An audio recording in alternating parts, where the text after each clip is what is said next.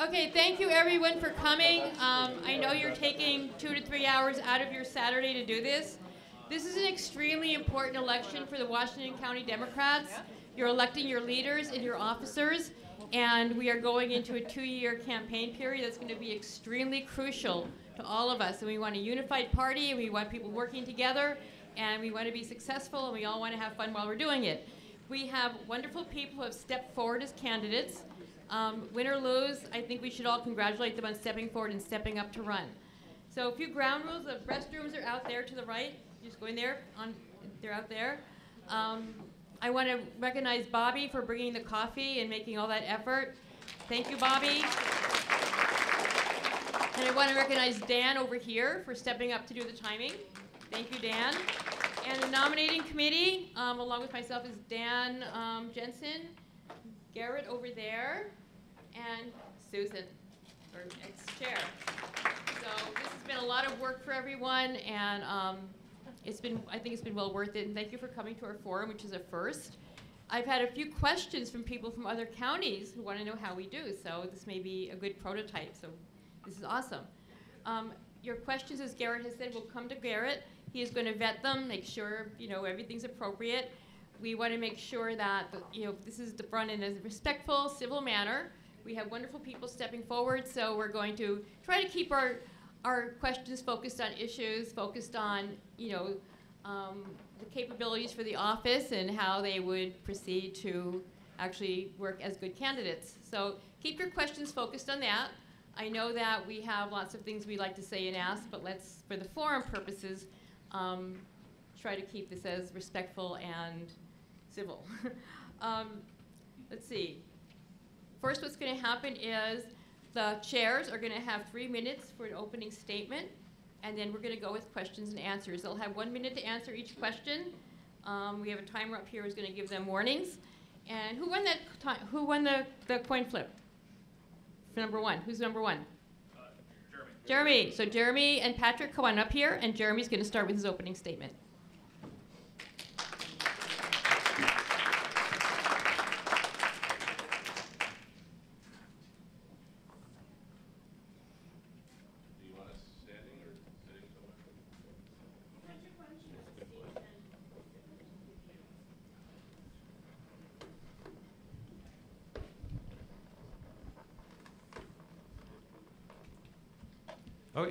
Thank you, everybody, for coming today and for everybody who will be watching this after the fact or is watching currently. So first off, I just want to say uh, congratulations to everyone here in this room. As I said, we had a great election here, especially in Oregon on Tuesday. Heck, we flipped uh, two more House districts here in Washington County that we didn't even expect to go ahead and flip. So right now, there's only one House district actually in Washington County that is not blue. So we're doing a good job, and, and we need to go ahead and keep pushing and keep making a more effective change you know, here in our state legislature and here at our different local levels. So let's talk about how we can go ahead and keep pushing, you know, Oregon and Washington County into the future, you know, here at our own local level. So there's a few different things that I think we should go ahead and work on. And one of those is going ahead and uh, making sure that we don't try a one size fits all to all of our solutions. We need to make sure we're focusing more on local aspects so we need to go ahead and be making sure we're bringing people in from local communities and focusing on local problems. Because too often we try a one size fits all, and frankly, we're you know continuing to grow. We're the second largest county in the state. We have well over 500 PCPs, and we're continuing to grow that number. We could actually have about 1,400, and so we want to keep going up. And to be able to really manage that, we need to be able to go ahead and work at a local level. You know, so when there's an issue that's specific to Tigard or specific to Beaverton or maybe a North Plains issue, it's not necessarily best tackled at a county-wide level. Now, at the same time, this you know is also the kind of thing we need to do in order to really build our neighborhood leader program. So, if we're talking about how we are most effective, it is by boots on the ground. It is people power. As I said, it's not you know money. That's not our you know specific strength, and it's not the way we want to if we're really trying to push you know, progressive policies as we all are. And so we need to go ahead and work on those local solutions, you know, for that aspect as well. Now, this will also help bring us in and help make our county party more representative of the people we represent if we are involved in local communities and really helping to bring people from those local communities into the active county party structure. So, another thing that we want to go ahead and work on really is uh, having effective meetings. So we want to make sure that you know we go ahead and have effective meetings where we're focused on the issues and not on our own issues with each other. So we want to go ahead and make sure that they're well run by the rules and that we go ahead and make sure that everybody has a way of being involved in our county party. So that will help make sure we are all feeling engaged and working on those issues that matter most to us. Okay, and so I'm sure we'll talk about a lot more here later on as the questions come in, and I welcome you all and thank you for coming.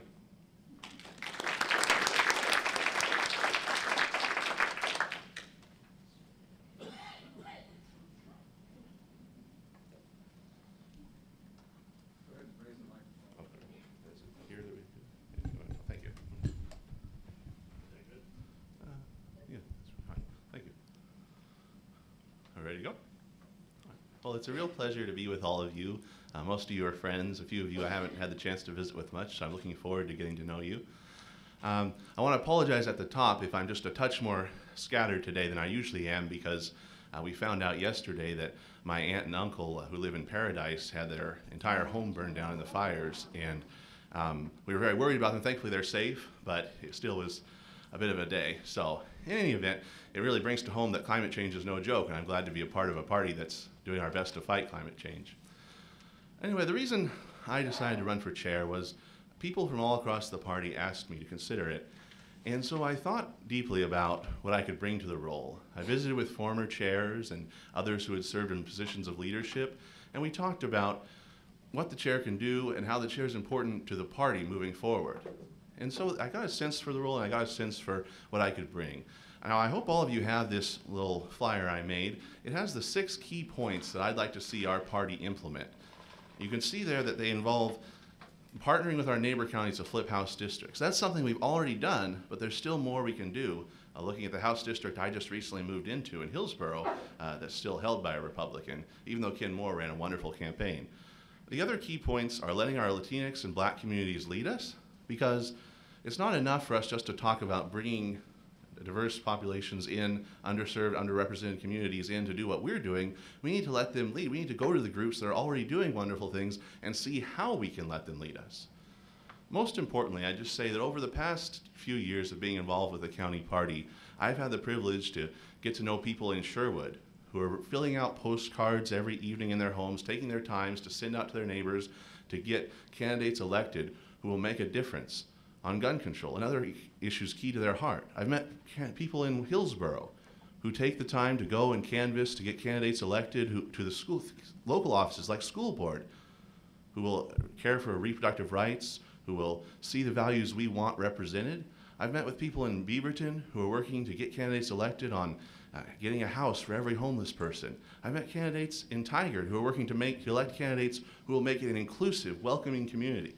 These are the people that I agreed to run for chair for. The people who are making a difference in people's lives, who are doing something. These doers, that's the people I want to be chair for because really that's all that matters. The, the rules issues, the concerns about various uh, minor issues, these are only tools that get us to making a difference in people's lives. So if that's what you see, making a difference, not being a small, insular, inward looking party, but being a big, bold party that looks outward to change the world, then I'd like to be your chair. Thank you for the opportunity to speak with you today. Okay, can we have Jeremy and Patrick both come up here? And I'm going to switch you back and forth for answering the questions. So the first question, we'll go to Patrick. Um, yeah. So you both get. So why are you a Democrat? That is a good question. Um, it's and it's a big question. The, the, I guess the key to it is uh, my grandfather, um, like most of us, uh, had a big impact in my life, even though we lost him when I was still relatively young. But he was in the U.S. Navy. He fought in World War II, and then uh, when he came back, he was very involved uh, in his longshoremen's union. He was a leader in the union, and he worked around water all of his life. And the things he taught about the importance of being together as the working class, as people who don't have perhaps um, all of the advantages that everyone else does. But when we work together, we can achieve a society where no one is left behind. That's really at the core of why I'm a Democrat, because I believe it's important that no one gets left behind in our society. And there are clear policies that we as Democrats stand for that cause us uh, to leave no one behind. It's, it's, we see it when we look at that Democrats are the ones standing firm for Social Security and Medicare. Democrats, our platform, we're the ones standing for health care for all, for Medicare for all. So these are the policies that make me proud to be a Democrat. There's a lot of things around the edges, but the key core issue is no one gets left behind in our society. Hmm. Thank you. Okay, I'm a Democrat because I think it is the best way to make sure we are making progressive change, you know, here at, in Washington County, here in Oregon, and at the national level. Right now, we as Democrats have gone ahead and been pushing, you know, and changing the discussion on healthcare. We are starting to talk more and more about universal health care. We're talking about the issues that really matter. And these are the things we can do, and we can go ahead and change that narrative. And so I'm a Democrat because we do agree on many of the same progressive issues, and we want to go ahead and make those changes in the world. Sometimes we disagree about exactly how to go do, and do it, but that those are the debates we can have internally. But together, we're strong enough to go ahead and make sure we're working on those changes, and we can go ahead and make those changes together. So, the first, um, second question, I'll start you, Jeremy. What do you perceive to be the most important function of the chair, and how do you propose doing that function as good or better than it has been done in the past? Okay, so the most important function of the chair is really to be a servant leader, to go ahead and be there to act, you know, in favor of all the constituents of your county party. In other words, the PCPs. You serve those PCPs. And for me, that means making sure I'm creating an environment where every PCP feels that they have the ability to make input fairly, that they feel that it's a safe environment, that they that we're going to go ahead and work on creating an environment that represents everybody that's involved in our party. And also that when it comes to working with other organizations or working with the state party, that I am representing their interests as much as I possibly can. Because it's not about me, it's about everyone else here. It's about all of the PCPs here who I will be representing as chair of the county. I don't want to bring up my grandfather too much. And Andrew Gillum uh, often spoke about his grandmother on the campaign trail in the election that just finished. But um, I do remember he worked around water all his life, and so uh, on ships and boats. Um, and I remember him saying once when I was very young that what a captain needs is vision and capacity to execute that vision.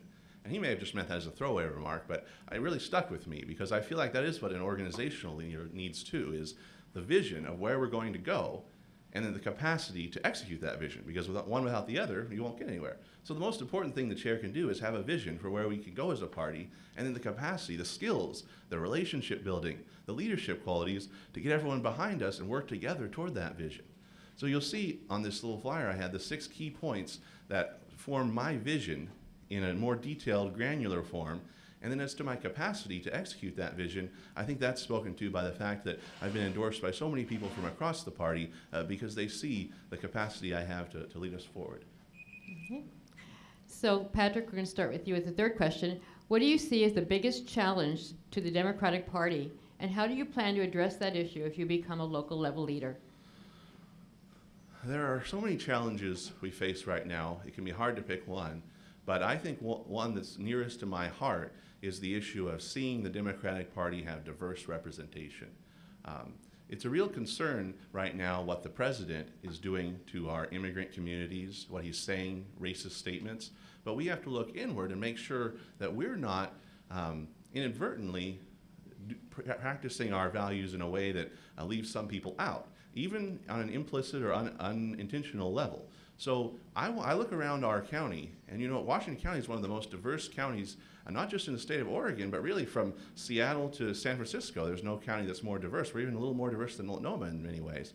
And so I look around our county, I see 17% of our county uh, is Latinx, the population. But is that what we see in the party? Well, I've talked to a lot of our, our leaders of underserved communities about how we can improve that, and that's the biggest challenge I want to address as chair. I think the biggest challenge that I want to address as chair is making sure that we really show the people that we stand by our values. Because I think there is a bit of a problem, you know, in terms of getting the question of what do Democrats stand for. And we definitely stand for things. As if we have a strong platform. We do care about racial issues. We care about women's rights. We care about climate change. We care about health care. But we don't do a good job of communicating that and really, you know, going to bat for those issues. And that's what we need to really work on changing. Because as we work on changing that, we will also, you know, activate, you know, Democrats, you know, across, you know, the state and throughout our county. We will get people more involved and we will actually be able to affect those changes on all those issues. It will go ahead and make sure that we help act and become more diverse as well because people will want to be involved in our party and we will actually be walking our talk and making sure we're bringing people in as well as fighting for climate change and universal health care. And so these are, I think, the single, you know, thing we need to do most is walk our talk. And Jeremy, we'll start with you with this one. Um, It has become apparent that divisions are visible within our membership. What behavior will you undertake to heal those divisions if you are elected? Okay, so we certainly have divisions, and frankly, we always will. As I said, we're Democrats, we're a big tent party. So we always will have divisions, whether they'll be worse or better at times, will ebb and flow. Now, to go ahead and work on that, there's a few different things. First off, we have really well-run meetings where we go ahead and take out the, you know, the easy ability for people to snipe at each other, but really focus things back on the issues. And that's really running our meetings by the rules because we have rules for what's called decorum, which helps make sure that we focus on the matters at hand rather than personal issues between each other. Further, also, if we are giving everybody a chance to really be involved in the way that they want to be involved, and we're really pushing that kind of involvement and activity, that will also go ahead and help reduce our divides because people will feel that they're actually having the effect that they intend to by being within the county party. So it won't all just be focused, you know, in a meeting where we have divides between each other. So that's what, you know, I think will be the most effective ways of making those changes. Well, I think there's, that's a good point that running our meetings effectively and in a way that uh, doesn't allow anyone to feel left out is important, and that will help. But there's a lot of other things we can do too. Uh, we, I think one of the things you've seen in organizations is that when people come to see each other, not just as um, fellow members of a party, but as friends, as colleagues, that that's very important to, so there's not as much of a, a suspicions of, of what people's motives are, but people really uh, come to care about each other. So I think we can do more in terms of building. Uh, there's some Democratic parties I've spoken with because I've, I've tried to survey what other parties are doing in preparation for running, and I've seen other parties uh, have social have social events. We do some with our drinking liberally. I think we can do more uh, to get to know one each other and be close. But do that and then um, run our meetings effectively. I think those are two keys moving forward. Um, I'd also say that. I appreciate one of the reasons I agreed to run for chair was because so many people were asking me to run, uh, not just who supported the same candidate I did in 2016, but who many also who supported the other candidate. So I really feel like I've been able to build relationships with people all across the party. What tangible efforts would you make to reach out to our 114 different ethnic groups residing in Washington County? Patrick? You know, I, this is incredibly important to me. I've had a chance to talk with um, the chair of the Latinx Outreach Committee here in our county um, and the chair of our Black American Caucus, as well as uh, leaders of our state Black Caucus and other uh, state Native American Caucus and other groups, uh, many of whom have, have, supported my run for chair. And what they've told me is that um, there's no silver bullet, so to speak. There's no way to immediately increase diversity in our county and immediately get everyone involved. What it is, is it's doing the hard work over time. It's reaching out to all of these groups. It's doing what we can to produce as many materials as we can uh, in languages other than English that are common in our county. And we've seen the Latinx Outreach Committee in our county do an amazing job of that already, but we need to keep doing more. It's going to events as the chair, as the leader, and representing their party, telling people, this party belongs to you. We want you. We need you. Because when we get people from all backgrounds involved, really, not just in words, but we really do it, why that'll make our party a lot stronger. I, I really believe. So, uh, similarly to my opponent here, I agree. You know that this is something we really need to work on, and there is no single magic bullet. Some of the things you know that we can go ahead and do really is back to focusing on local, rather than trying to do it as a one size fits all. I, as chair, would not be able to do this all by myself. The point is that I'm, we work to create a culture where we're bringing more people in. So we work to go ahead and do that more through our House district leaders, through our neighborhood leaders, making sure our committees and our caucuses are all more empowered to go ahead and reach out and go ahead and talk to those individual groups. Now, another thing we need to do too is that we don't work with other local groups within the county as much as we should. We, we're often too much of an island. And frankly, we need to reach out and build more collaborative relationships with all the organizations that are already in Washington County. And this will also help us go ahead and bring people of different ethnicities into our party and being more connected. Can you give us an, a specific example of a decision you personally disagree with but will faithfully carry out? Jeremy? Sure. Uh, so, as as the chair, your job is not to go ahead and countermand, you know, the decision made by the body beneath you, even if you disagree with it. And so that is, you know, what I have to go ahead and do, you know, in some cases. And as chair of the platform and resolutions committee, I have had to do that. I, I stay silent while the committee is going ahead and debating issues on one resolution or another. And even if I don't agree with what that resolution is, I'm still the chair of that committee, and I represent that when I come to the body as a whole. Now, that's also the case of what I would be doing as chair of the county party. Even if I disagree ultimately with the decision that was made, I'm still the representative of that you know, party. So I will represent your decisions as you make regardless of my own personal interest. Yes, it is very important that we uh, represent what the body says because the chair can put forward a vision, and I think that's expected in our organization. But ultimately, the members make the final decision, and as chair, it's not our job to uh, overrule what the members decide. So I think you asked for a specific example, and I can think of a case where, um, in another organization I was a part of, um, they decided to uh, not to limit campaign contributions uh, to the degree I thought was appropriate because I felt like uh, while fundraising is very important in that particular organization at that time, that we, for the cause we were advancing, it would be more effective if we only accepted small dollar donations. But they decided it was better to accept donations up to a higher limit, and I, as a leadership position in that organization, I accepted that and went forward with that. And I do the same thing in this body. Um, whatever the group decides, as chair, I'll effectively implement it. But I do want to set a vision out about how we can lead and how we can move forward on our key priorities. Okay, good. One last question, um, and Patrick, we'll start with you. Um, so, a little about the neighborhood leader program. Do you agree that it's a vital part of the Washington, WashCo County Dems, and is it effective? And also about our field director position. Um, how do you feel those work together, and how do you feel those are effectively helping our party to move forward?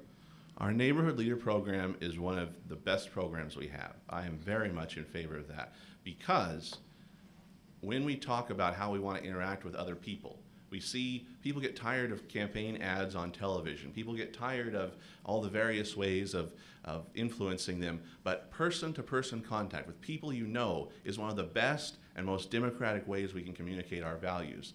Uh, in fact, what makes the Neighborhood Leader Program so special is that it's not just canvassing, it's repeatedly interacting with the same individuals in your local neighborhood. So you build a relationship with them so they trust you, and then you can get your message across. I am very proud of the Neighborhood Leader Program. Um, the other part of the question was about the field director. I think the field director is does work. I see I'm, I do not have that much time left, but the field director does work with the neighborhood leader program in uh, helping get uh, routes assigned and helping answer questions. Um, I know a lot of our volunteers do a lot as well in that regard, so I think they're both essential to making that program work. Okay, so the neighborhood leader program is vitally important, you know, to us as a county, because one of the things we really work on is, of course, making sure the ballot measures, you know, get passed, making sure we're electing, you know, candidates, you know, that represent us. That said, we've fallen behind. I mean, we are no longer the ma- you know the top county in the state as far as having an effective neighborhood leader program. And so we need to go ahead and redouble our efforts into our neighborhood leader program and go ahead and actually be, be heavily working on building that neighborhood leader program up. So we can use the neighborhood leader program itself to also make sure, you know, that we're out there, you know, really working on bringing more people in there, even if that takes tabling, you know, in front of, say, some of our local grocery stores or at our farmers markets to make sure we're getting more people in there. Because again, if we're talking about important things to what we do, it's people power on the ground. And quickly talking about the field director, yes, a field director and their ability to talk with campaigns and work with the neighborhood leader program is also important. Uh, and that's really all the time I have. So talk later. So let's give Jeremy and Patrick a big round of applause for getting up there and doing a great job. Uh, Martita and Farrah, would you come up here?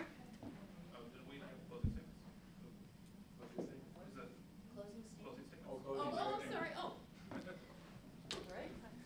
Read my notes. Um, Closing statement, and since Jeremy started, I will have Patrick start with the closing statement.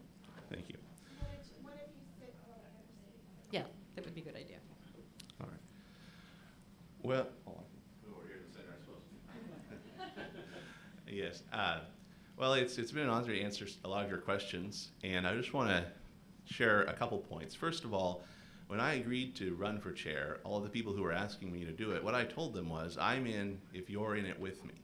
And what I meant by that is that sometimes the analogy of a conductor gets overused in an orchestra, but I think there's a lot of truth to it in organizations like ours that one person on their own can't really do much of anything at all, a little bit. But it's only when we all pitch in, we all work together, that we're able to get things accomplished. And so that's what I say to you today. If you just want someone to go off on their own and do things by themselves and you, you want to sit back and relax, then you probably shouldn't elect me chair, honestly. But if you want to have all of us pitch in together, working hard for the values we care about that can change people's lives, then I'm willing to be your chair and get that done. So I'd, I'd really appreciate your vote, uh, but most of all, I appreciate your friendship. Thank you.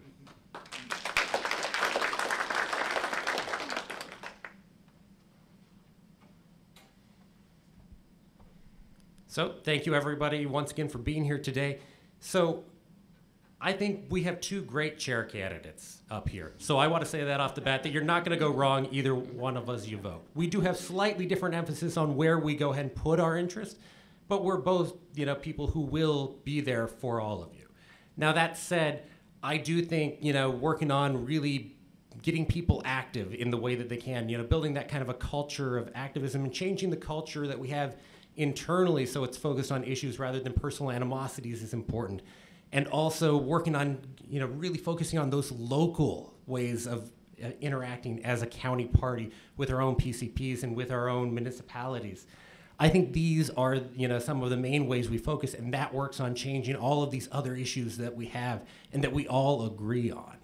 And so together, I think we can go ahead and move Washington County as a whole into the future. Thank you. Okay, uh, Martita and Farrah.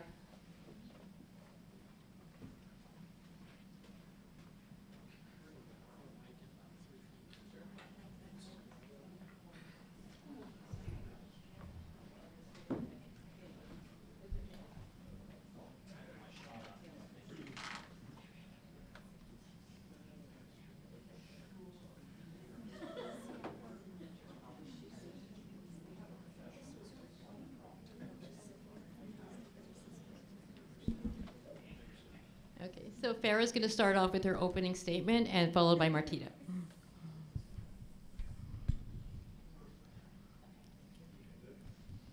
Yeah, I think so. All right, I have three minutes. Mhm. All right. Hi, everyone. Uh, I'm Farrah Chaichi. I have been a Democrat probably since I registered at 18. I started coming to Young Dems events in 2014, and I became a PCP in 2016. In that time, I've seen a lot of areas uh, where we have an opportunity for improvement, so that's why I'm running for vice chair. I figured instead of complaining about the things that I don't like, maybe I should just take responsibility to change them myself. Um, I have been on a million committees. I won't list them for you now because no one wants to hear that. Outside of this, I'm also in my second and probably last chair position for the Human Rights Advisory Commission for the City of Beaverton. And I work with the Oregon League of Conservation Voters for their endorsement process in Washington County. In my free time, I have a regular 8:30 to 5 job. Um, they don't ask me to stay late. I don't have business trips, so I have plenty of time to dedicate to this party. I don't volunteer for gigs unless I know I can actually do them. Um, part of what I want to see change in this party is communication, which we all heard earlier. I think if you have more effective, clear communication, consistent and often, you have a better running organization. Um, as vice chair, I think you're really an administrative support person for the chair, so they're going to lean on you a lot for those housekeeping issues. And when your house is in order, you can take care of business more efficiently. I also think that we need to have more opportunities for people to engage with us outside of meetings, where it's me talking to you and not them talking to us, um, and where you don't have to pay to get in. I'd also like to see more voices from the people who are actually doing the work on the committees. So we did not pass the resolution to have elected committee chairs, but as a vice chair, part of my job would be to ratify the appointments of those committee chairs. I would want to make sure that the people who are on the committees doing the work support the people who are being appointed to the committee chair positions. So they're the ones doing the work, they're the ones working with the chairs the most, they should have a say. Um, on top of that, I think that a clear, consistent, transparent application of the rules and bylaws is going to be one of the best things that we could do. And I think both of our chair candidates are going to be great at that. Um, as vice chair, you're up at the front of the room during the central committee meetings too. So you get to be another little nudge about, well, maybe we want to think about that for a second or re-communicate that to the people in the room. Um, so that's, I have 30 seconds left, but I only practiced for two minutes and I'm already over.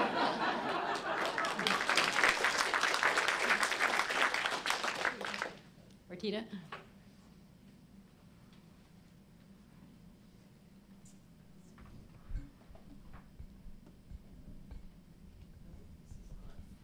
Let's just do this. Hello? Okay. thank you. Awesome. Thank you. Hi. Uh, my name is Martita Meyer, and I know a lot of you know me, but for those of you who do not, um, in this last year, I've been serving as the communications chair for the Washington County Democrats. Um, I was part of the redesign team uh, for the website we have today and uh, the digital strategies that we've been using that we got to use this year for our midterm 2018 elections. Uh, why I chose to take that role is because I have a background in digital marketing and project management, which I feel is one of the reasons I would actually be successful as a vice chair, because as Farrah stated, a lot of that job is to support the chair and take on that administrative role and make sure that the chair can be successful. So being that I'm a project manager, that's kind of what I'm used to doing is looking at the big picture, looking at how we can set our goals moving forward and actually execute on those goals successfully. So that's why I feel I felt um, inspired when when I was spoken to about running for vice chair. I thought, you know what, actually I probably have a good skill set to do this role. Um, so the other thing I started thinking about a lot when I was considering this role is, is there anything that I care about that I would, would want to contribute to our vision? So the first thing is, um, I think resolutions are actually really key and important, and I'm really excited that our resolutions committee has done so much this year to bring that forth. And one of the things I would like to do is take that up another level. So um, right now, I think what happens is we take our resolutions, we vote on them, and we don't have really a good working mechanism yet to get those up to our legislative body to have them really understand that this is what we care about. You know, people who come to our meetings, they're passionate Democrats. That's why they're coming once a month to the CC meetings. And I think we can say with confidence they represent the values of the Democratic Party. And if we don't have a regular interaction with the legislative body that we help get elected, then that communication vehicle is lost. So I would like to see how we can find a way to, to do a better job of actually making sure that they consistently get that feedback. Um, the other thing that I, I really care about and very passionate about is increasing the diversity in the party. Um, I know that I, it's just it's something I've cared about my whole life. It's just you know we need to make sure that people of color, people with disabilities, the LGBT community actually feels welcome here, and that takes proactivity. I think that something that people forget a lot is that it's one thing to have your door open, but it's another thing to actually step outside and say, what interests you? What would actually make you want to come here? And that's what's, we, we just haven't gotten to that level yet. I don't think anybody's trying not to do that. It's just it takes another level of organization to actually have all the committees come together and say, okay, what do we need to do as a strategy to reach out to these different communities and have it feel for them like I belong here. I actually want to be here. So those are the two things I care about most that I would want to further, aside from, of course, supporting my chair. okay. So Martita, I'll have the first question for you, and thank you both. Um, Martita, why are you a Democrat? Why am I a Democrat? Um, you know, when I was in college, I, I debated on that a lot. I kind of toggled between being a Green Party and a Democrat, and, and I even, I'm going to admit, I, I voted for Ralph Nader, don't kill me, in 2000. I did. But you know what? It's because I always really cared about politics. I was always really uh, interested in politics and paying attention, and I always had very progressive values. But I felt that uh, as I got older, I started to really analyze like what, what party can I actually enter into and make a difference because the structure is there and the the overall belief system that aligns with me is there. And I and I know sometimes people feel that the Democratic Party because it's a big tent, we don't always agree. But when I look at the value set of Democrats, I was like, no, this is this is where I belong because I do care about healthcare for all and I do care about human rights and immigrant rights and people of color, and this is the party that cares about that. So as I as I grew and evolved as a person, um, I would just I became fully Democrat, and I love being part of this party. Uh, it's kind of a miracle, I feel like, that I'm a Democrat because both my parents were registered Republicans uh, when I registered. My father recently changed his registration to Democrat, though, thanks to me. Um, but similarly, I just knew that the values that I have were represented in the Democratic Party, and the Republican Party was not going to be anything for me. I didn't actually, my bad, know about the Green Party very much, so it wasn't really an option. Um, but in high school, I joined Amnesty International and uh, I wanted to do anti racism work, and that was reflected in the Democratic Party, so I registered as a Democrat. I stayed because as time has gone on, there has been a lot more, um, I don't know, examples of the ways that the Democratic Party still represents my values. Next question, and Farrah, would you start with this one? What do you perceive to be the most important function of your position, and how do you propose doing that function as good or better than it has in the past?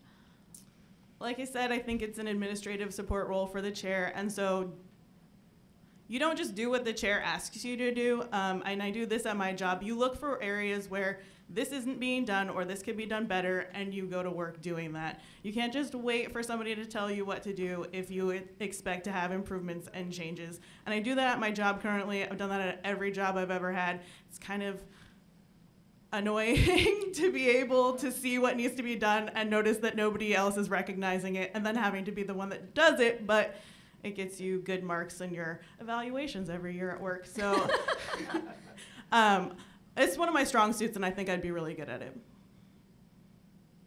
Okay.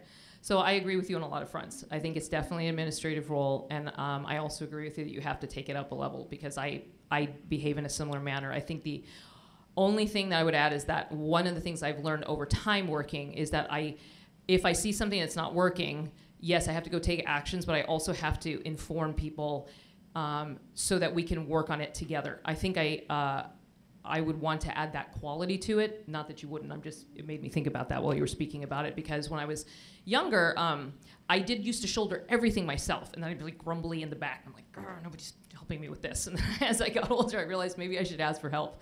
Um, so I think I think um, the the role is meant to support the PCPs, support the chair, and really be listening and listening for how can I help make a difference with people so that we can move forward our agendas. And Martita, what do you see as the biggest challenge to the Democratic Party, and how do you plan to address that issue if you become a local leader? I think the biggest challenge for the Democratic Party is actually um, it's ironic because we want to be a big tent, and it's really actually very difficult to be a big tent and and not, and still feel like we have partnership and get along. So um, for me, any way that I can facilitate listening and open-ended conversations where people actually feel heard. I think it's hard sometimes because even though we're very ideologically aligned as Democrats, it's very hard sometimes to tell the difference between ideology and execution, right? Because we'll start getting into debates about how to execute on fulfilling on ideology, and it can get very passionate, and people can get really frustrated because they might feel that some people aren't doing enough, or they're not looking at it in the right way, or that way is going to fail. Um, so I think being a space for listening and just helping people feel heard and listening for what we have in common so we can say, okay, we've heard all the ideas, like let's actually work through this. It gives people the feeling that it really everybody belongs and, and we can remind each other that we actually are heading towards the same goals. I think a lot of that makes sense. Um, but this last election cycle really showed me that there is a lot of belief out there that we aren't as much the party of the people as we can or have been. And so, one of our big challenges is going to be to show that we are a party of the people, to stand for the working class values, and not just say that we stand for the working class values, and really hold leaders accountable who don't follow that. Like, Peter Courtney is going to probably be our Senate president, and there have been many times that he has not put forward something that we, the people, want. We're going to have to be more vocal that that's not acceptable, and we're not going to take it. Otherwise, it just looks like we're serving our organizations rather than our constituents. And I really want us to serve our constituents. And Farrah, what are your plans to address the lack of diversity in the party? Well, I think a lot of people have hit the nail on the head. We have to make our our environment welcoming for everyone. But I also know you can't expect people to come to you, especially when they haven't felt welcome in the past. So we're going to need to go out into community organizations and community events led by people who don't look like our party looks now and support them in the work that they're doing. And they may not necessarily show up at our events, but one of the things I really want to do is have events where people can engage with us who aren't necessarily PCPs or donors. And I think that going to other people's events also facilitates that so that we can show that we really do care about causes and the people behind them and not necessarily just winning as Democrats. Okay. Um, I, I definitely agree. It, it's it's so much more than just saying, "Hey, like, come on in." Um, especially like going out and participating in other organizations and speaking to them. I think, again, I, I, I go on the listening thing a lot, but it's it's a form of active listening, and it might even be asking questions. I would go so far as to say if we need to do surveys, if we need to do things, and we need to ask people really direct questions like, why don't you why don't you want to be here? I want people to feel so comfortable with our party that they can tell us things that are really uncomfortable to hear because they know they're safe to do so. I just think if people don't feel safe to speak, why would they ever walk through our doors? So it's going to take research and it's going to take actually participating with other groups to find the information so that we can actually transform the way we behave and do something about it. Um, one of the things I've been kicking around, I don't, I don't know how easy this would be to fulfill, but I think it would be great if we could actually work with some local um, universities and create um, programs where kids could come and work with us for a semester, and we would make sure that that's a diverse population who gets the opportunity to work with us at the office and so forth. So I have a couple more questions, but I want to encourage people to come up and bring questions to Garrett if you have more questions for our vice presidential candidates. Um, so start with Martita. Martita, could you tell me um, or tell us some of the very specific things in your background that you have accomplished or done that will help you in this job? That I've okay, so um, I would like to say too. I think part of my background, being that I come from a, a biracial background, it does help me understand looking at things from different angles. It's part of why I became an anthropology major. So even all the way back to college, studying anthropology gave me a very 360 view on the importance of taking different viewpoints in order to really understand what people are saying. Um, it completely formed every aspect of who I am today was, was studying anthropology. Um, I think as my career path went forward, as I said, I, I worked as a project manager.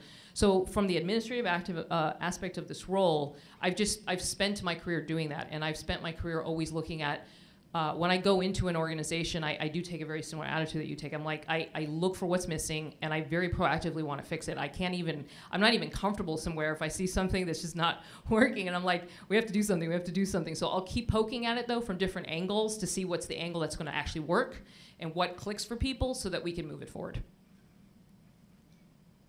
Like I said, uh, my job basically, I do administrative work all the time, but in my personal life too, I'm an incredibly organized, meticulous, thorough individual.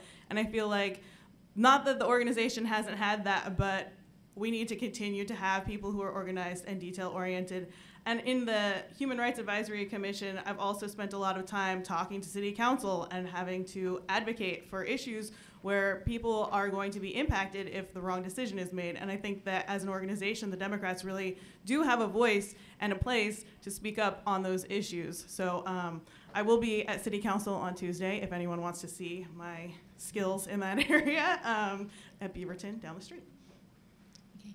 And Farrah, could, could you tell me, tell all of us, um, what are two new ideas that you have that you would like to bring to your to this position? Um, two totally different ideas that haven't been tried or you know enacted yet that you would like to bring.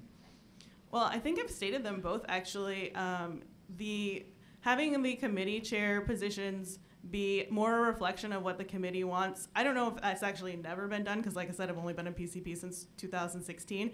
But I want to make sure that we're having a discussion or at least an email exchange with the committee members to be like, who do you think is good for this job? Who should we be considering? I want to know what they think before we make a decision for them.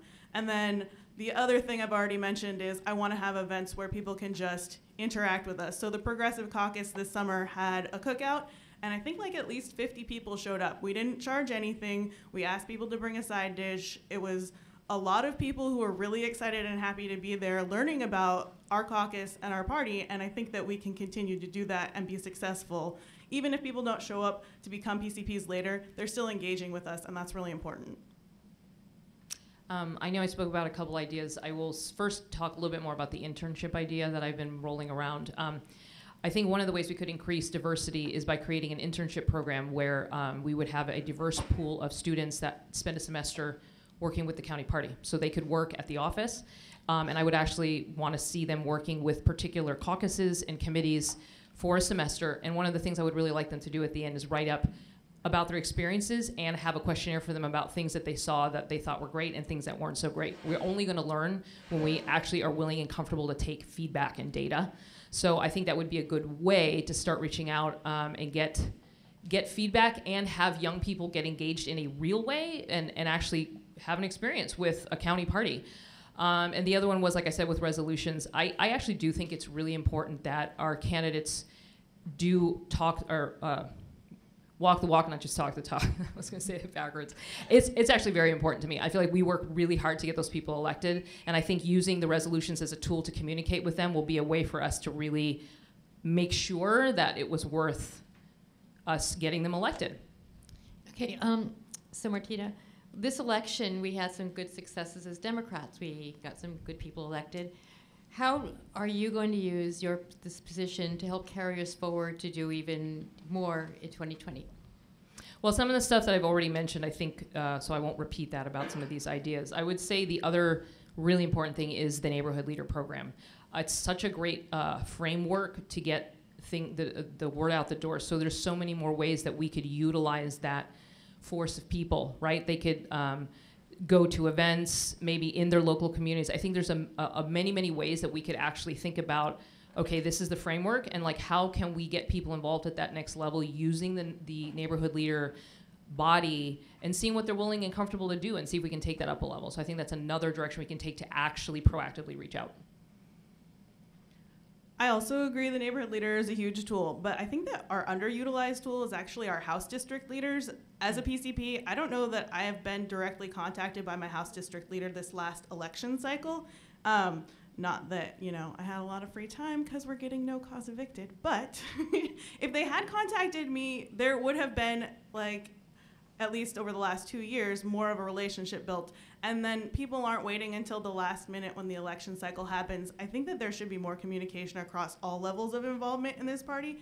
And so, really building out not just the neighborhood leader program, but our House district leaders to talk to our 565 PCPs and make sure that everyone is engaged regularly and not just at election time, encourages them to really put out the effort when election time comes. And also, it would give us as PCPs that other reminder like you can get your friends and your neighbors to come with you to go knock doors in your neighborhood it's not something that um, you have to do at just election time either i think that we should be out in the community more frequently so people don't for- forget about us So our last question is one that was also asked to our other candidates. Um, it's become apparent that there are divisions visible within our membership. Um, and what behavior as vice chairs would you take to heal those divisions if you were elected? I think really respecting everybody's time and the efforts that they put into the party is important, and treating everyone equally and fairly under the rules is a crucial foundation for all of that. But as you may recall, I was part of the effort to recall our current chair, and there was a list of stuff there. What came from that wasn't a recall, but we did go to mediation, and I was very serious about wanting a roadmap. We do have a roadmap of ideas for how to move forward, and I want to see those implemented. I'm really concerned that you know we might have done that and it doesn't get implemented, and why did we spend this time and money on it? But we also came up with very good ideas that both sides agreed with. So I feel like following that mediation agreement would be really crucial in helping heal those divides, but also moving forward to work together. Um, I, I'm also glad you, with the mediation, I, I read through the mediation agreement and I thought it was awesome because that, that ties back to actually respecting and listening to one another. Um, one of the things that I've learned just in working in the workforce is that sometimes people don't communicate something because they don't think they're going to be heard and they probably have the best idea in the room. So we have to continuously come to an open mind when we are having a debate and go, you might actually have a better way to execute and make things better than I do. And I think that coming with that attitude and trying to continuously facilitate are we actually listening to each other right now? Like, are we actually committed to creating outcomes so that we can be open minded and listen to all, all of the people who are contributing ideas and showing respect, letting people finish their, their what they have to say, not rushing people, not looking at people from a perspective of you're on that side and you're from this group and we're from that group. We're all here because we give our time because we care about Democrat causes, and I'm going to make sure that that always feels like how you feel welcome here. Okay, and I think, um, thank you very much. And I think, Martina, you get to start with your closing speech. um, um, so I just want to thank everybody for being here today. I, I remember when I got up this morning, I was kind of nervous because I wasn't quite sure what we were doing. I knew we were going to be asked questions. Um, and I, I know I know people don't know this about me, but I'm kind of introverted, so I was a little bit like, ah, this is going to be hard to be in front of the room. So I really thank you for being just great listeners and, and for actually an- asking great questions to us. Um, I like I said, I, I to me this is a serve this is a servant role, right? Not just because you help fulfill uh, for in that administrative capacity, but anybody in a leader body, when you are in the leadership, you are there to serve. And to me, we are here to help serve the PCPs become stronger, more empowered, and heard. And that is really important to me. And I want to make sure that PCPs are excited to come and vote at Central Committee meetings because they know it's going somewhere.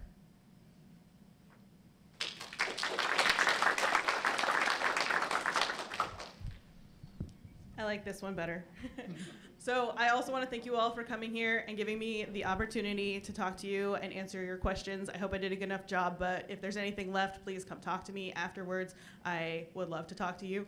Um, I am really excited about this election going forward. I think that you have really great choices. I personally have a lot of ideas and would really love the chance to implement them, but I also would really love the chance to make our party grow and look a little more representative of where we live. Um, I feel like there's a lot of younger candidates as well, and for this last election cycle, particularly with the um, Parkland teens, there's really a drive to have younger people running the party, and we should probably be empowering the people who are going to be left behind to take up the reins. I also want to say that the communication, whoever wins, is going to be great, I'm sure, but I intend either way to make sure that um, I'm communicating to others better as well. Thank you. Can I ask a question, please?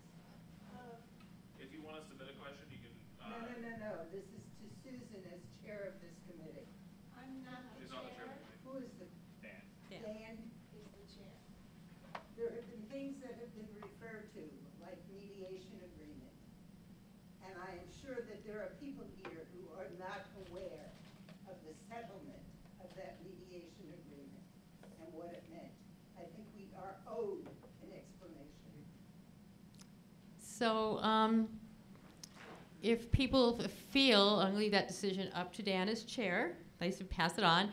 If people feel that this is appropriate, um, I wanna keep within our time. Is there someone who could take one minute and do that? Do we, you like to do that? Head, head current chair? You know, I don't think it's fair to me to ask me to do that when I was not prepared.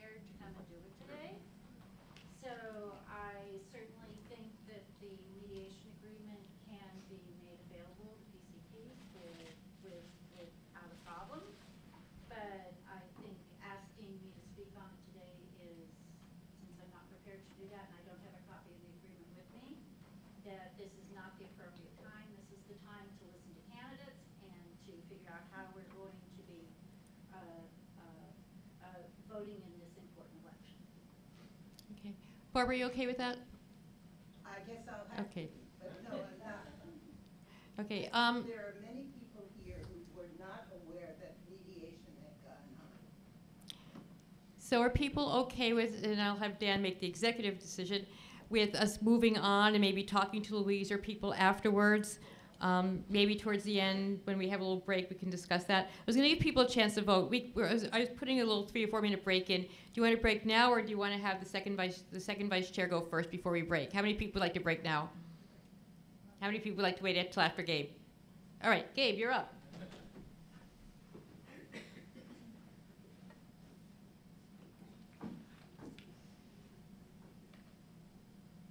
Hello, everybody. Is can, can y'all hear me? A little closer. Oh, oh, oh, oh. Right there. Okay. It's, a team effort. Well, I want to thank y'all for being here. I want to thank the people who put a lot of effort into making this happen. It's a really great turnout. I'm really impressed to see this many folks. I can't remember the last time we had an event in Beaverton. It's so nice. I live eight minutes from here, so it's really easy to commute over. Uh, I'm running for second vice chair, and because I really care about our party, I really care about the work that we do, and would it be, you know, solving the issues that we have moving forward really begins with the credentialing process. You know, the first thing you do at a meeting is you become credentialed. You, know, you get your name badge, you make sure it's not spelled incorrectly, you make sure you get your voting badge, uh, and then you get take a seat. I have some really good ideas to make it, you know, more efficient and make it a little easier for folks to come in. Uh, I'd like to see the credentialing process be uh, electronic in some capacity so they can remove congestion when folks come in initially. I know that we have an issue with folks getting name badges right now uh, if they come in like half an hour late, so I'd really like to see that logistical issue be figured out. Uh, I'd also like to have, you know, we, we have a lot of issues coming up right now at CC meetings, and it gets kind of complicated, uh, you know, with all the, the rules and the points of order and all that nonsense. Uh, I'd like to see on the voting cards a simple explanation of Robert's rules, you know, just a quick, quick, you know, 10 uh, frequently asked questions or like 10 procedural things so that people are like, oh, that's what that means, or oh, that's what that guy's doing right now. Uh, I think these are just like issues that clear out a lot of the you know congestion that we have right now. Uh, I'm also running for you know those are like the official capacities of the second vice chair. Uh, obviously, fulfilling uh, you know if the chair is in, in not in capacity to do a meeting, if the first vice chair is not in capacity to do the meeting, uh, that's also a function of the, uh, the second vice chair. But I'm really running because I'm passionate about the work the party does. I've been involved with the party for a very long time. I've been on the executive board for about a little over two years now, serving as the Young Dems chair. Uh, and we've seen a, a, transformation in some part. We've seen more Young Dems in leadership. We've seen Young Dems really put forward, a, you know, their ideas and their agenda, and make sure that people understand their place in the party, understand that we're oftentimes a vanguard for progressive issues, making sure that the party hears us, and oftentimes, uh, you, you know, we forget. So my main reason why I'm running is I'd like to see an expansion of uh, young people, people of color, working class people, the people that we claim to represent uh, in our party, and get them involved in the functions of our party. Uh, I'm very proud, proud of you know, the progressive platform that we passed. I'm very proud of the candidates that we have working uh, in Salem right now. Uh, I was involved with many campaigns, you know, from Erica Lopez to Susan McLain uh, to most recently Sarah Grider campaigning in some of the deepest red districts in this county. So I know what it takes to bring our message to folks who are in more rural areas or in the Republican parts of Washington County. And I'd love to work in, uh, work with committees that are doing the groundwork right now uh, to make sure that we're going to those counties and making those House districts and Senate districts and making sure that we're doing everything we can uh, to make sure Washington County is completely blue so that we can make sure that our efforts mean a whole lot and that we can do the things that we care about. So that's why I'm running for second vice chair. Thank you. So some of these questions will be similar to what you've heard and some will be a little bit different. Okay. So why are you a Democrat? Uh, I'm a Democrat because I want to get the most progressive things done in our community as fast as possible. I really believe in the cause of our party, and I really believe that it's a Democratic party that's going to bring forward things like tuition-free college and single-payer health care. I believe we can be a vehicle for working-class people and the movements of our time, and that we can do better in representing, you know, what's really going on in our counties. So that's why I'm a Democrat because I believe in the cause of our party. Okay. And what do you perceive to be the most important function of your position, and how do you propose doing that function as good or better than it has been done in the past? Well, I think it's been done really well, and I think credentialing is, is a tough issue. I think Chrissy's done a great job as second vice chair. Uh, I think that you know some of the issues I talked about a little earlier, you know, making sure that we have some sort of way of getting people clocked, checked in electronically, that could cure some issues. Uh, but yeah, that's really you know the second vice chair is really uh, a workhorse in some capacity. You know, doing the credentialing process is really important to make sure that we're doing it correctly. it takes a lot of time and effort, and you should give a shout out to people actually doing it. But yeah, so I've talked a little bit about it, but uh, I think that's the main function, is being you know an administrative duty to the chair and doing what needs to be done for the for the chair. And what do you see as the biggest challenge to the Democratic Party, and how do you plan to address that issue if you become a local leader? Uh, I think the biggest issue facing our county party is probably uh, getting more folks who represent the county that we live in. Someone said that it's the most diverse county. It is. Uh, if you look at our CC, you might not expect that. You might not feel that so much. Uh, I'd like to bring in, and you know, as Young Dems chair, I've done a lot of work to bring in young people uh, who, you know, from diverse backgrounds into leadership, into our PCP, into our committees. You know, working on resolutions or working in the comms committee. Uh, I'd like to continue that.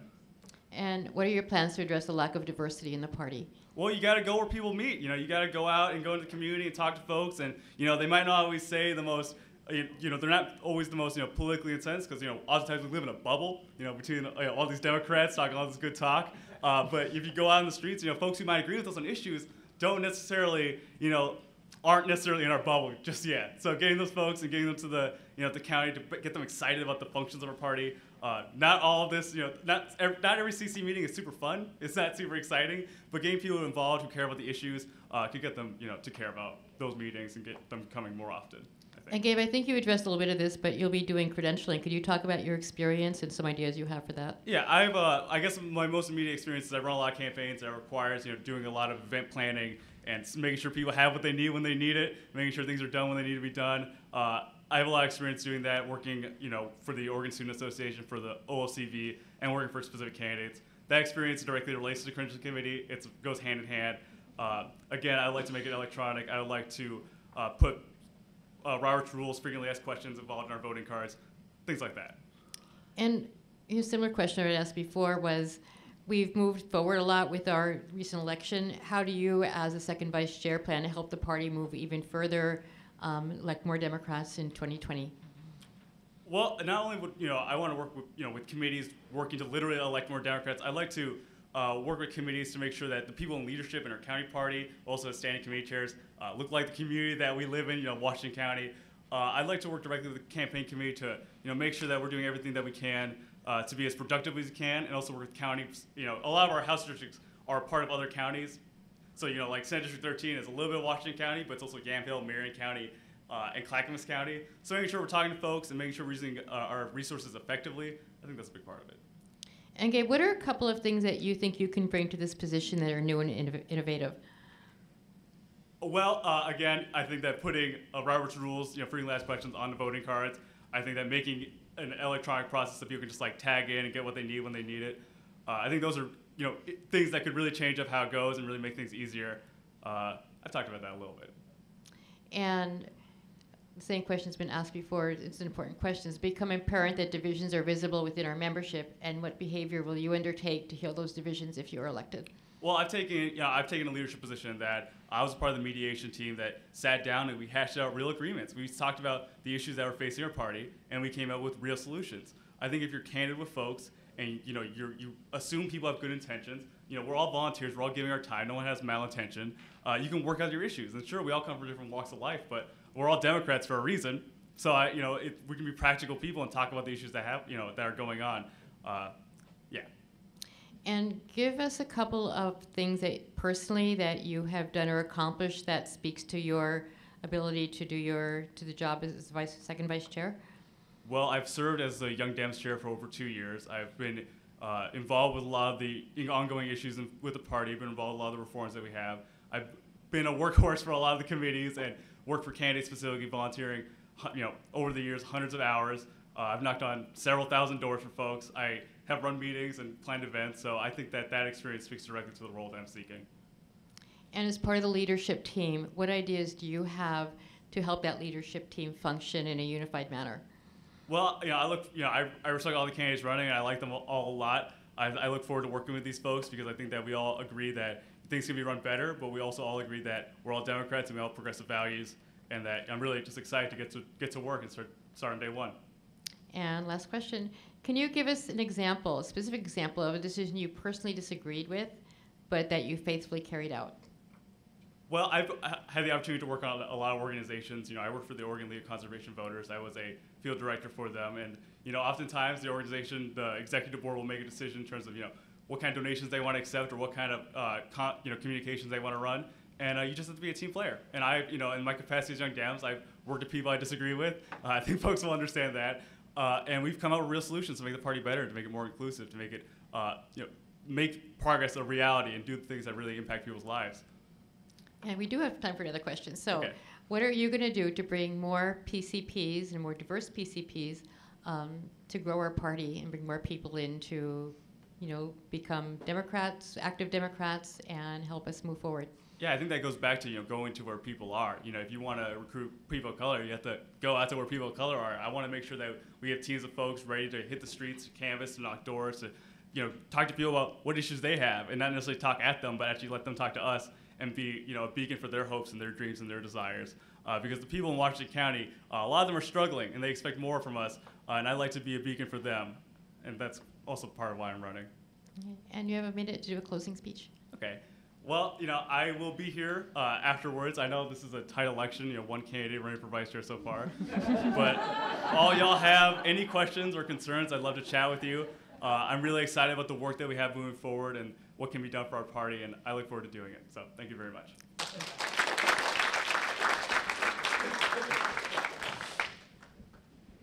we would, we would love more questions. Okay, um, let's, we're gonna have to get started because we want to stay on time. We do have to be out of here at five. And I think, I really want to thank everyone for sticking around. I know it's been a long afternoon. Again, thank you for coming out. Thank you for the refreshments. And we have one candidate for secretary who's going to start with her three-minute open speech, Victoria Long. Hi, everybody. It's nice to see you. Um, I decided to run for uh, the uh, secretary position because I didn't think I'd have to speak in front of anybody. So, so I guess I was wrong about that. I have a lot to learn, and that's one of the reasons that I decided to do this. Is I thought I I've been helping out with the finance committee. That's been fun, but uh, but it was. It's just too much fun, and I thought I would like to do do something where I'm really learning a lot more about the infrastructure of our local party. This is the first time I've been involved in a local party, and um, this integrally. I've done canvassing before, so I wanted to learn more about it, and I have some pretty good skills. I'm pretty organized, and at least that's what I'm told. And um, I thought I would enjoy it because I enjoy people, and I love to meet you all and become your friend, and um, that's why I'm here.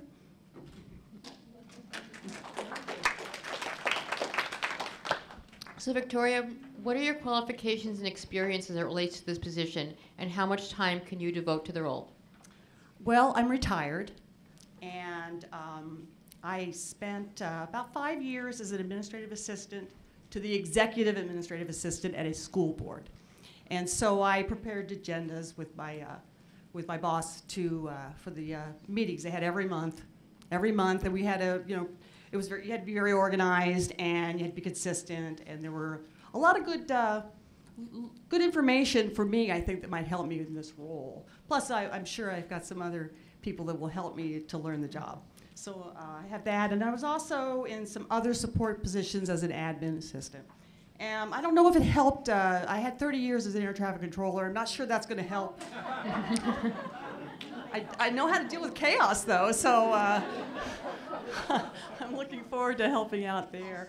Um, so I have a lot of good strengths. I'm pretty organized. I have a lot of focus, reliability, quick learner, calm, resourceful, etc. What experience with complicated motion practice and documentation do you have? Say that again. What experience with complicated motion practice and documentation do you have?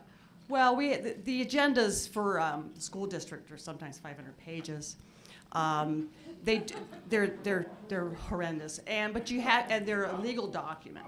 And so I think I want to bring a sense of professionalism. It's not like we don't have it now, but that's what I would bring to the table: is being professional, cheerful, calm, and making sure that um, things are recorded correctly.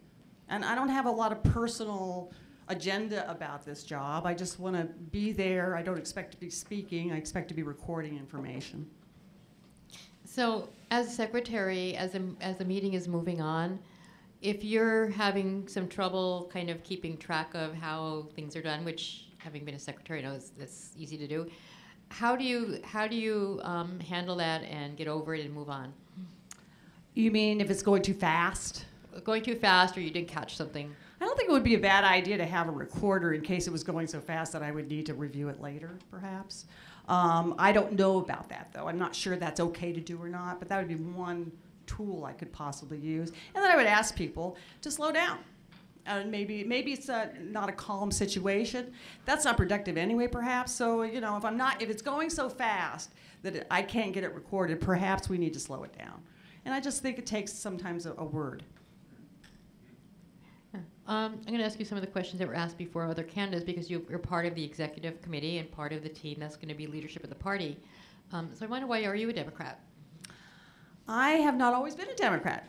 I'm a Democrat because I think that it's the better party.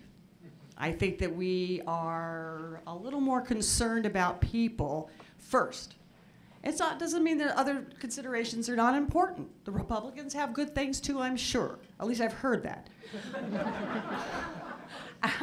but uh, I've been a Republican since 2009, and at, I mean, uh, uh, no, no, I, yeah, before that I was, uh, yeah, a Democrat since 2009. Before that I was a Republican, and um, I decided to canvass for Barack Obama, and it was very rewarding, and we had a great president, and we're going to have another great president someday. Um, so, anyway.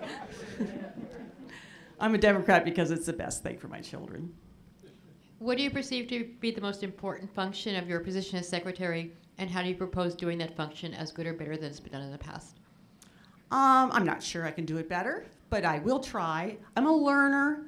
I want to learn while I'm doing, um, and then I want to be able to share what I learn with others, which is which is helping with transparency so that other people can know what's going on. There should be no secrets. And um, I believe that um, I have the capability of doing a good job. And, I, and I'm a very confident person. Whether I should be or not, that may be up to you to decide. But um, I'm confident and I'm pretty relaxed, and um, I'll be very careful with the job. And as part of the executive team, how do you see yourself playing a role as someone who keeps the team moving effectively and works um, as a member of a teamwork situation? Well, I'm pretty good at keeping the eye on the ball. Um, sometimes I've noticed at meetings, uh, good, bad, or indifferent, things do get bogged down. Sometimes you need to move along, and or you need to remember what the focus is because we can lose sight of the focus. Um, if I'm called upon to alert people to that, I will, because I, I kind of know what we're talking about, and I try to remember that. I'm not as good up here in front of you all, but um, I do try to uh, keep track of what's happening and then keep going back to that until the business is finished with that, and then go on to the next thing. And Victoria, what are one or two new practices you might want to bring in to your job as secretary? Two new practices? Well, I wouldn't mind if we could maybe review and revamp and improve our process for voting. It seems very messy and not exact. And I, I, I, I don't even know how we would do that, but I think it'd be nice to be able to have a quicker way and a more precise way to vote instead of, you know, up and down and up and down. I don't know. So that's one thing that I would suggest looking at. Um, I also would like to see some of our meetings maybe at uh, different parts of the uh, county. Um, I was very excited to come over here. I'm always in, in Hillsboro. So uh, I love Hillsboro, but when I go anywhere else, I'm like, oh gosh, there's another world out here. And I'd like to, I think that if we went out to other parts of the country, uh, country, the county, we would be able to get more people to come in and uh, take a greater stakeholder share in what we're doing. Because, you know, if it's always in Hillsboro, I mean, I like it, it's really convenient, but it isn't really fair. So, And again, this will be the last question. As a leader, um, you know, some what part could you play with bringing more PCPs, more diverse PCPs into the party? um, I'd like to see us outreach more to Latinx and, and other groups, but we have to go there.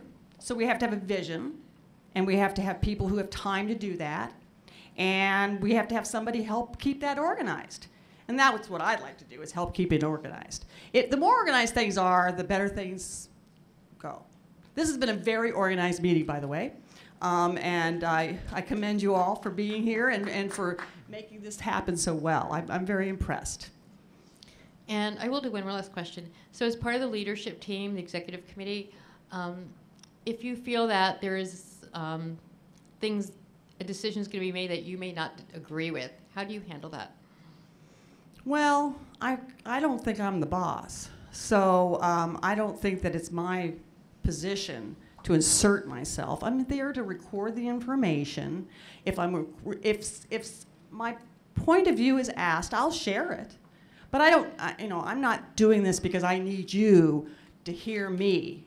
I'm I'm here to do the business of the party, and if I'm called on to vote on something, I'll do it in an intelligent uh, way, considering all the facts. Um, and I, I, I'm not shy about that.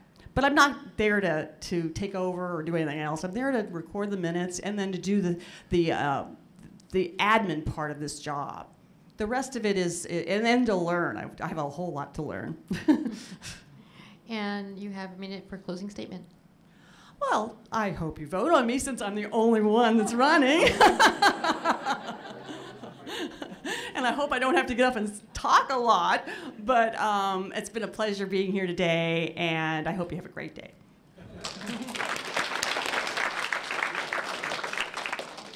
I would like Keith and, um, yeah, Keith and Veronica to come up here.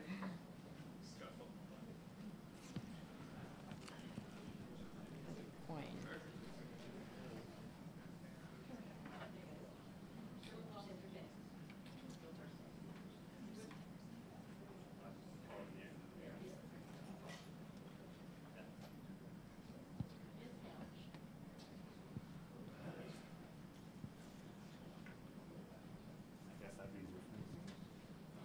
Okay, so now we have um, Veronica and Keith as our treasurer candidates. Thank you for um, stepping up to do this. And Veronica, you're first for your opening speech. Hi, thank you. Um, so first of all, I do want to thank everybody for being here because it's really a gorgeous day, and um, we're not going to have too many of these nice sunny ones. So um, thank you for giving it up, especially all of you that have spent all the last weekends out canvassing. So you didn't even get this one off. Um, so um, I'm asking for your vote to continue in the position as treasurer. I've been your treasurer for the last almost four years now. Um, it's been a position that's um, traditionally had a lot of consistency. Um, one of my predecessors was the treasurer for, I think, 29 years. Um, so I, there's really only been like four treasurers in the last 40 plus years. The value of that consistency is that it's not the basic part of the job that's complex. It's all the little odd details. So there's basic accounting, which is really pretty straightforward. But a lot of what the treasurer does is not really officially in the job description, but it's really critical to the party. So I work really closely with all the people on the finance committee, giving them a lot of information and a lot of history so that they can be really successful with events or any other fundraising that they're doing. I work really closely with all the committee chairs, talking to them about what their vision is for their committee and what funds they think they might need and ways that they can go about doing different things or who they need to connect with to be successful, whether it's community outreach, whether it's the IT committee, whomever. Um, I can give them a lot of past history and I can give them a lot of connections and information. And I give them a lot of advice as they're working to put their budget together to be sure they're not leaving out things. Um, I also um, I also bring just like a lot of knowledge of Washington County. I've been working politically in this county since um, 2004, first at the congressional level, and then for state reps, and then for a statewide campaign. So I ha- just have a lot of experience and people that I know that I can give advice from. I think that's it.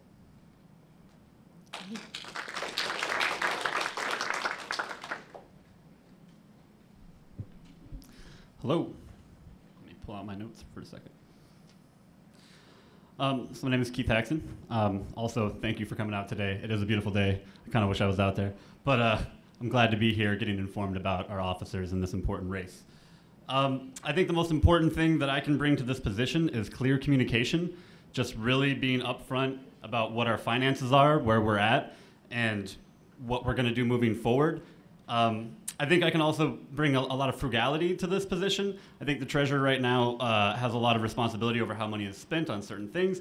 And right now, we spend about 6% of our total uh, of money that we raise uh, on basically accounting, on banking fees and compliance reporting. I believe I can cut that down at least to half just by you know switching the financial institution that we're working with or the payment processor that we have that might be charging us too much. Um, and the last thing is integrity.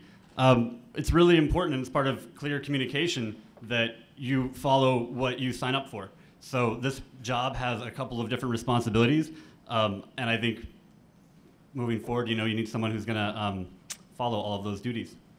That's it. Okay. Veronica, I need you and Keith up here because now you do the question and answer. So Keith, you go first this time. What are your qualifications and experience it relates to this position, and how much time can you devote to the role? So it's a good question. Um, my the amount of time that I can I'll go with the time first. The amount of time that I can dedicate is probably about 20 to 30 hours a month, um, which I think is more than enough to fulfill the, the duties of this job. Um, my experience is that you know I've been the treasurer for many different campaigns, including you know um, my own campaign for city council many many years ago, um, including ballot initiatives, including I was a me- uh, founding member of a nonprofit. I wrote a grant request for over uh, for $100,000 that was accepted. I know how to write budgets and I know how to administer funds. Right now, I'm currently the treasurer for the instant runoff voting for Beaverton campaign. Although full disclosure, we haven't raised a whole lot of money. Um, uh, so yeah, you know, transactionally, I think that's that's an important part. But then also, I think it's really important to make sure that you're communicating well. And you know, I know how to build graphs and show the central committee, you know, not just what our budget is or, or what money that we have now, but you know, how much, how does that compare to last month and to uh, our, our proposed budget and all that.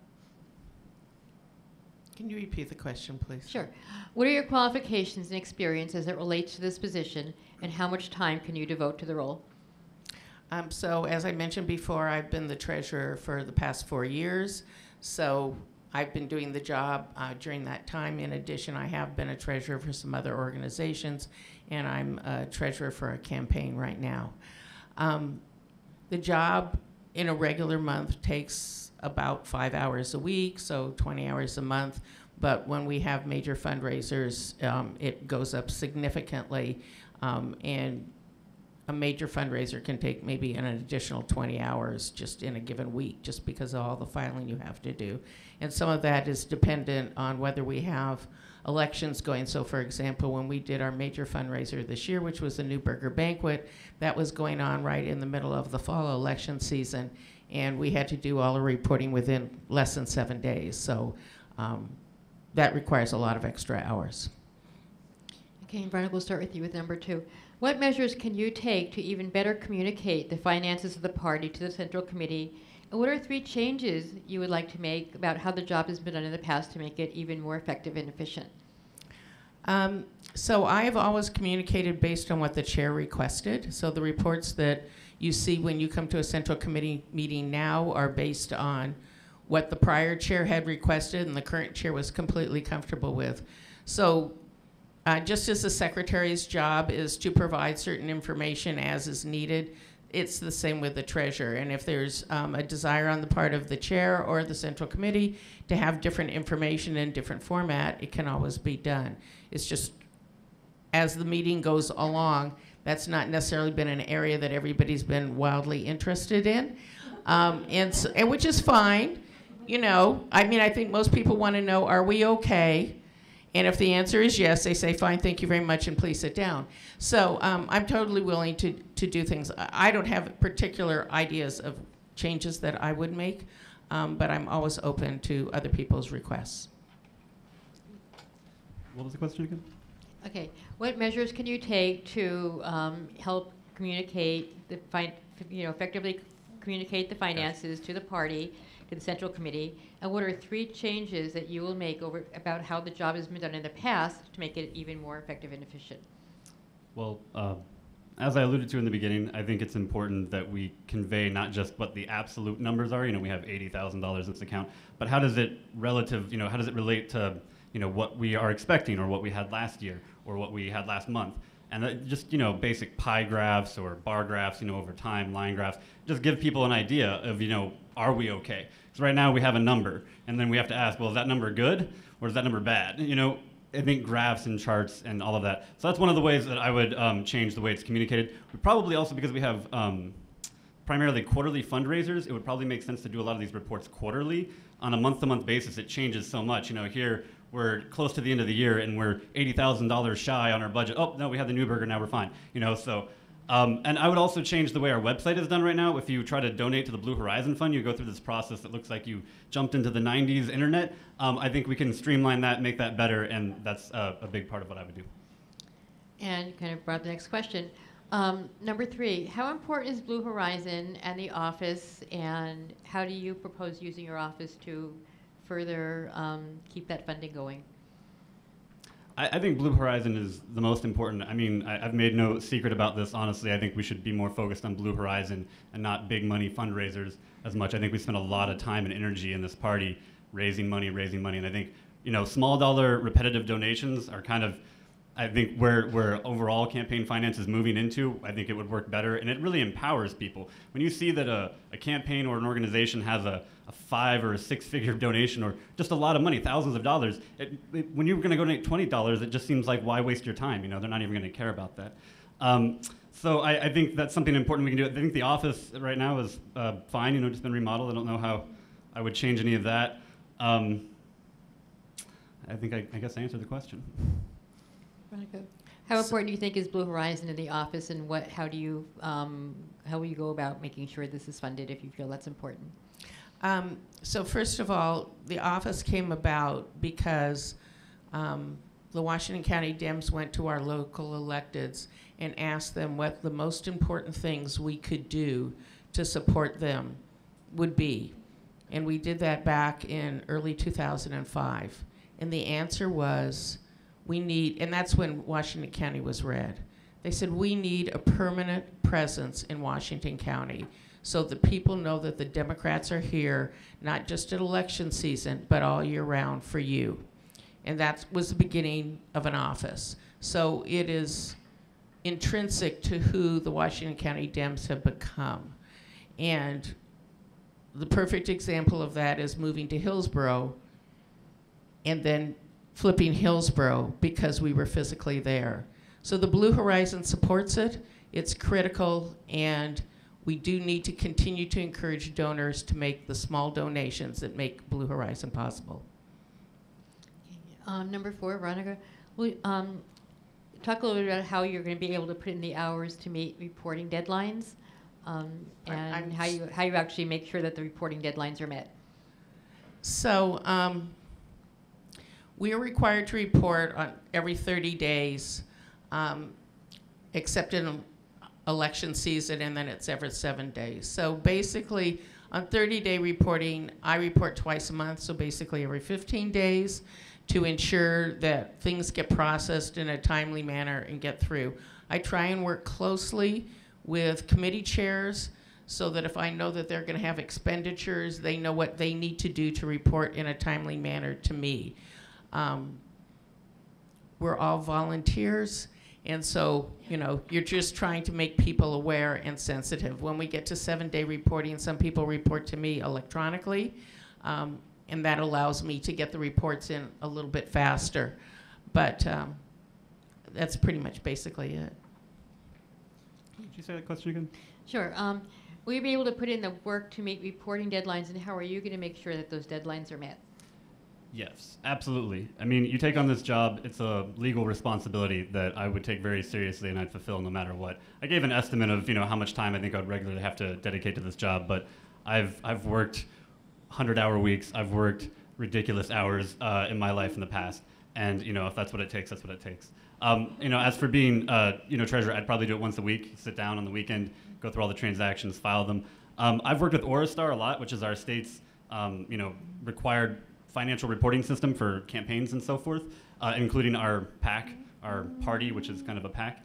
Um, and I know how to use it. Right now, we pay about $1,500 uh, to, for someone else to report to the state um, our finances. It's called compliance reporting. So I could get rid of that, do it myself, save us $1,500. I don't know why it would take so much time or be so complicated. So I think we can we can do that. I've done it in the past many times. I've never um, had a problem with reporting on ORESTAR.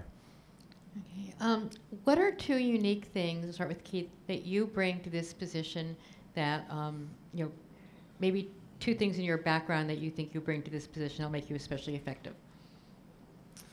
Two things in my background that I bring to this position that make me especially effective. Um, I, I, I could say integrity. You know, it's it's doing the right thing even when it doesn't benefit you. It's when it doesn't, um, when no one's looking. Um, I've in my life, I can't get into all the messy details. I only got a minute, but I've I've faced a lot of challenges for having integrity. Doing the right thing at the right time is often not met with niceness.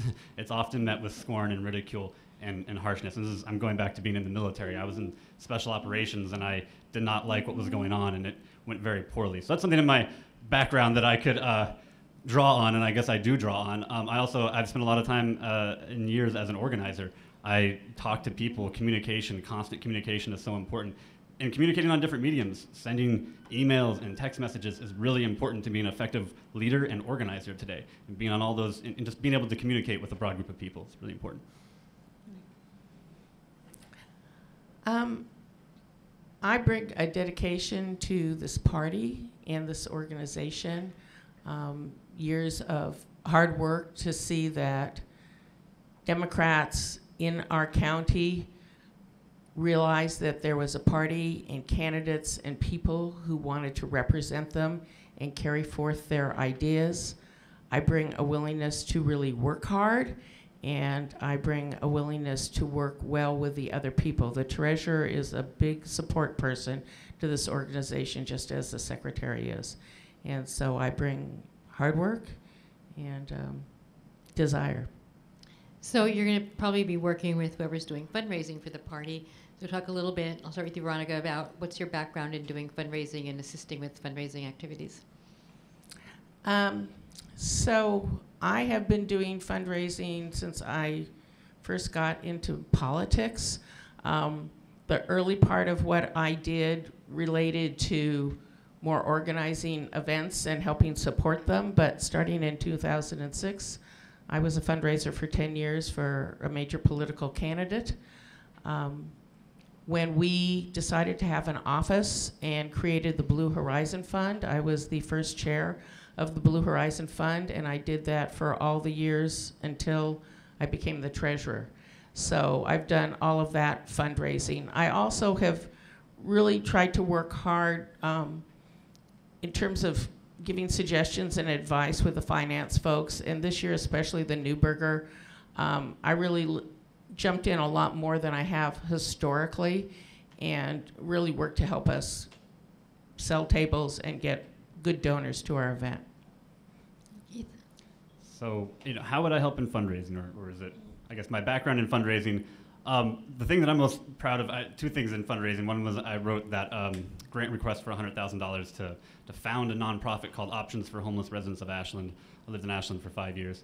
Um, and it was accepted, and there's a resource center there today. So I, I, part of my background is actually asking organizations for money. It's also something I did in other campaigns for 15 Now. Um, but the other thing that I'm most proud of um, is when I was in 2012 and I was running for city council, I was actually sleeping out of my car and basically running my office out of uh, running my campaign out of that car. I was able to raise $3,000 and mount a, a, pretty effective campaign that the opposition thought was so effective that I'd take out attack ad mailers and send them out to everybody in the city because they thought I was such a threat. Um, so I'm pretty proud of my ability to raise funds uh, in a pinch. But also, like I said, I think it starts out with the cause, and then you sell that cause to the organizations and to the small dollar donors. I'm going to go back and ask a few questions I've asked of other candidates. Um, Keith, why are you a Democrat? There's a why did I become a Democrat and why I'm a Democrat now. Um, I became a Democrat for more practical reasons. You know, I had worked with other parties, and I, am far on the left, as many of you know. Um, so the Republicans were never an option for me. Um, and so, having worked with these other third parties and seen the problems with them, um, I decided to try the Democrats. Um, and it came at the perfect time in 2015, 2016, when Bernie Sanders' campaign was was mounting up. Um, but why am I still a Democrat today? Is because obviously I share the values of this party. I mean, I care about it. Um, it's not always perfect, but I, I think honestly I align with the values of this party more than any other party. I think what, what happens sometimes is that people who are elected to represent the values of this party sometimes don't. And I think if they did, uh, we wouldn't have this discord, we wouldn't have as much problems if we all, you know, walked our talk. Thank you. Um, well, I always joke that I was born a Democrat, and if I ever voted for Republican, my mother would probably raise from the grave and hit me over the head. But um, I'm a Democrat now because basically um, I believe in the dignity of each human being, and I think the Democratic Party does. Um, I really believe in sharing what we have. I'm insulted by the ridiculous difference in wealth and what it allows. I'm concerned about language and respect and how people are treated. And those are the values that I think the Democratic Party has had and continues to have, and I want to see it have in the future. And Veronica, what do you per- perceive to be the most important function of your position, and how do you propose doing that function as good or better than it's been done in the past? Um, two parts. One is just the accuracy and timeliness of the work that you have to do in terms of bringing money in, paying bills, and being sure that everything's reported. But other really important part is how you help the party move forward. So both of the chairs talked about having a vision and having some goals. And so our ideal is to have a budget system and the funds to help them achieve those goals. So any advice that you can give to help them reach their goals is really key to the treasurer's position. So uh, the treasurer is a really important position, and actually, when I decided to run for it, it was even more important. Um, we recently just changed the bylaws to make it so that the budget committee chair is not the treasurer. So, as far as what does the treasurer do, um, that is most important, I think, yeah, absolutely. First of all, accuracy in accounting. If you're not doing that at the baseline, you're just not doing your job, and you failed on a pretty fundamental level. So you got to make sure what you report is accurate.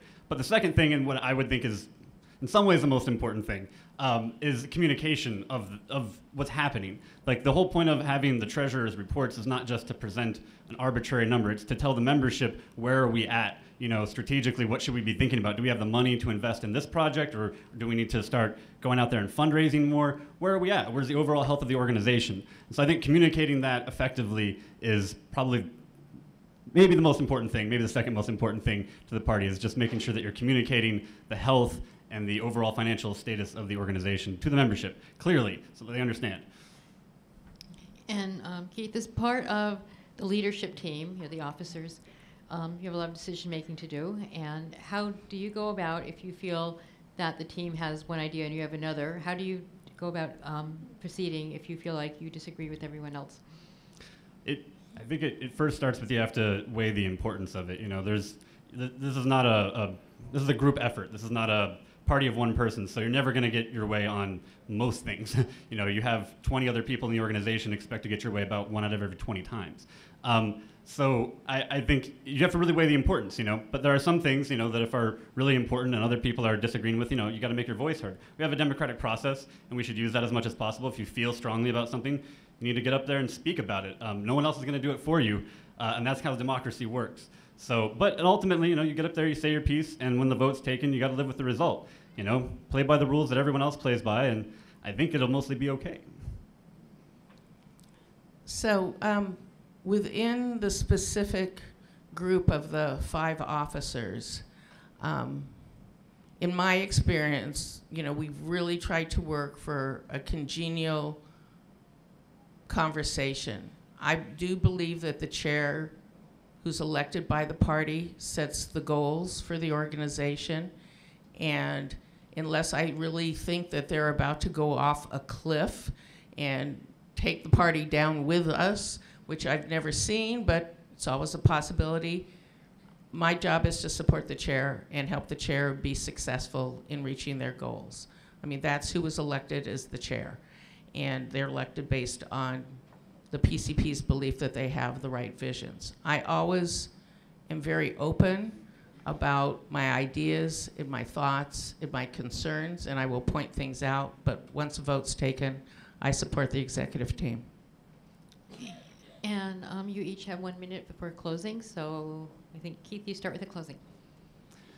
Yeah, um, I didn't prepare for a closing speech. Didn't know that we were going to have one. So uh, this will just be off the cuff, the most honest, straightforward thing that you've heard from me all day. Um, which is just that, uh, you know, I think a lot of people know me as a, a person who antagonizes or who is aggressive, who likes to make a ruckus. Um, and why I've been emphasizing important, uh, the clear communication is because that is not me. I'm kind of an introvert. I get nervous all the time, all the time. I'm pretty nervous right now.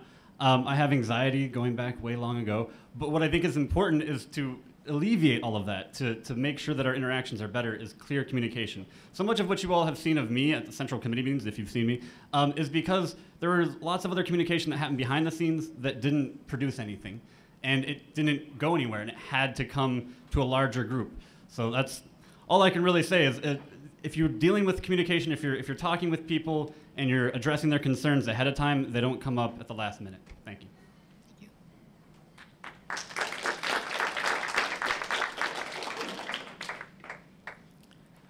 Um, financially, we're in really nice shape. We have a really big election coming up in 2020. I really want to help this party be able to do whatever it feels it needs to do in 2019 and 2020 so that we can be successful, not just in Washington County, but also in the state of Oregon. So I, my goal is to be supportive, to do my job quietly. You know, somebody joked, I used, I used to work for Tobias Read, who's now our state treasurer, and somebody said to me the other day, Oh, I haven't heard much from him. And I said, Do you want to?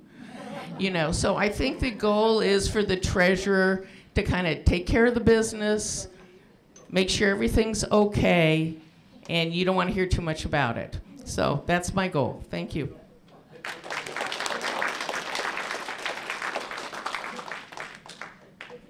like all the spoke to stand up, please. All of our candidates, stand up.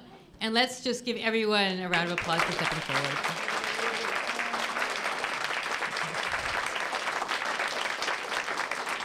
And I want to thank everyone for coming out. As everyone pointed out, it's a nice day. You may still have time to enjoy a little bit of it. Um, there's food. We're ending early so you can um, get to know your candidates better, but we will need some people to help us clean up. Okay, thank you very much, everyone. Good, One more.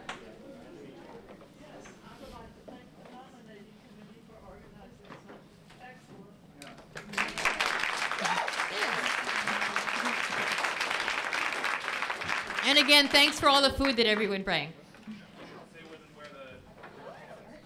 what?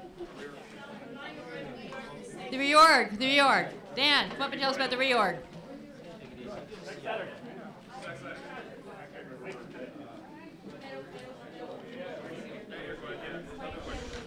Reorg meeting will be next Saturday. Uh, Credentialing starts at 8 o'clock. Uh, Meeting will be called to order at 9 at Meadow Park Middle School, I believe. Um, It should go smoothly. Uh, We've got uh, everything prepared as far as I can tell. So hope to see you all there and everybody else.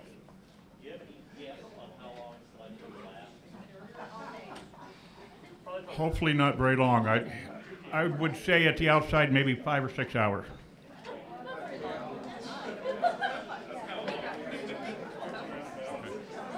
We do have the room till five o'clock, so we'll need to be wrapped up by then. But I, I would suspect we'll be wrapped up way before then.